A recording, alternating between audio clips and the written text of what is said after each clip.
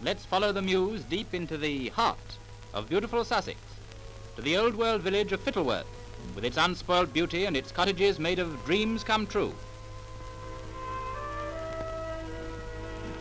Here, in his natural element, we find Mr. Hugh Padwick, landscape painter and model boat builder, and a great Sussex enthusiast.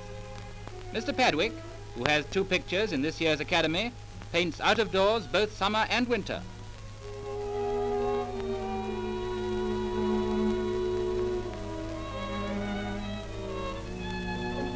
His hobby is building model boats.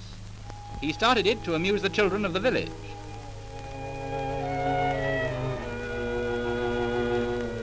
Fishing smacks, London barges, square riggers, brigs and other craft all form part of the model fleet, and they're true in every detail.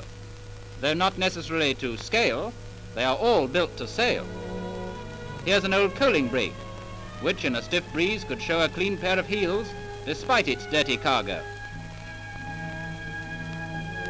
This jolly lugger sails the low pond as proudly as its big sister did the high seas. A two-masted schooner, a model of ingenuity and industry.